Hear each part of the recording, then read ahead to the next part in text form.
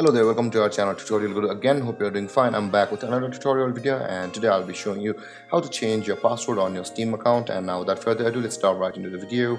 But before that don't forget to like subscribe and hit that bell icon for more videos. Now to change your password on your steam account you'll be first required to log into your steam account as i have already logged into my steam account as you can see. Now to change your password on your steam account you can see the steam option available at the top left corner of your screen. Click on steam and after that you can see the settings option available over here. Click on settings again. And after that you can see this uh, pop-up appear. And after that you can see the change password option available over here under the account category which is the second one. Click on change password. As you can see steam support will send you a text on your phone number which ending your 23 probably which is the number you had registered on steam at the time of creating your account. So let's click on text and account verification to my phone number and let's wait for the verification to arrive.